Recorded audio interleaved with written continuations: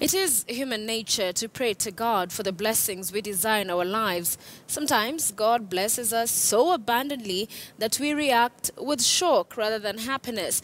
Now, that is what happened to a 31 year old mother who was blessed with quadruplets just before Christmas. Here's Lofty Matambo with the story of Sarah Wangari. Here is a confirmation of the doctor's report given 10 months ago to Sarah, aged 31, and her husband James that they were expecting triplets. Nilikuwa naona inawezekana, lakini si, niliona nilikuwa nasema kwa roho yangu nitaamini wakati nitajifungua, ndio nitaamini niko na watoto watatu. Huyo anaitwa anxiety that engulfed her husband in equal measures as they already had a five-year-old boy Quincy Gitaka. Kwa, kwa hivyo sasa hiyo ripoti nilipata na ikiwa baraka kwangu, nikaona it's a history in my family. However, on the day of delivery, it was a double shocker to this young family. Sasa venye walitoa akaona kweli ni mtoto na ametoka mwingine, wakakuwa wanne. Sasa hapo ndio nilijua walikuwa wanne, lakini sasa venye alitoa huyo nikashangaa, nikasema na akitoa mwingine watano so nilishikwa na wasiwasi, nikaogopa tena. Sasa nikaona kwani wataendelea tu kutoka.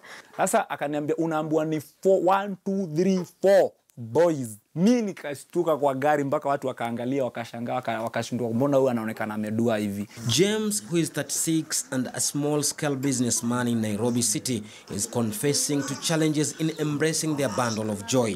Mpango wangu ulikuwa ni mpango wa kuwa na ile familia Mungu angetaka, lakini ya mpango ya wakuja sasa, kulingana na akili zangu venye mi nilikuwa najua mpango wa second, second born, tukakae kidogo, alafu ikuje third, mpaka pahali pale Mungu ataona kwamba ametubarikia kutosha kulingana na mapenzi yake.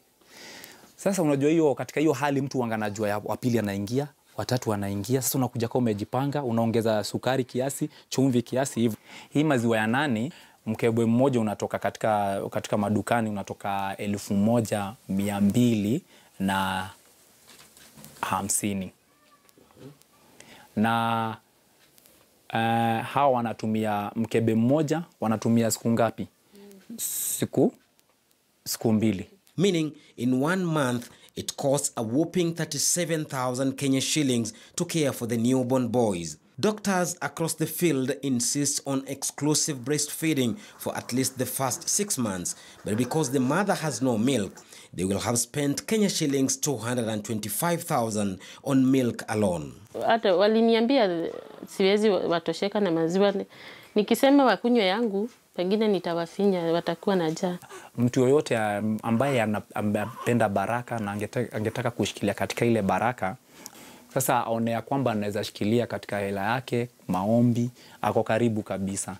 Adopted na mtu Ay, wacha, wacha tu ni- nife na yeye This family belongs to the Messianites denomination of Christianity. They do not practice modern family planning. James is ready for more blessings, though with mixed feelings. kulingana na, na, na, na injili yako umesema kwamba wa kwamba wewe ndio upeana na wewe ndio mwenye baraka zote. Quincy's happiness is vivid, just like for the many relatives and fellow church members who frequent James' home to welcome the blessings, especially during this festive season.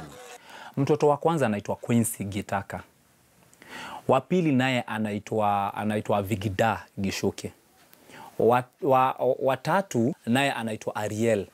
Ariel Ariel Kireba, wa nne naye anaitwa Yohanan anaitwa Yohanan Yohanan uh, Kipudhu ama Kibudhu. Haya, wa, wa, wa, watano ndio sasa wa mwisho, yule mdogo ndiye anaitwa Benyamin Benyamin Mwangi. It is that season where many people are expecting blessings to come knocking at their doorsteps. But how prepared are you in expecting and receiving these blessings? As for James and his family, challenges are there. Lofty Matambo, KTN News.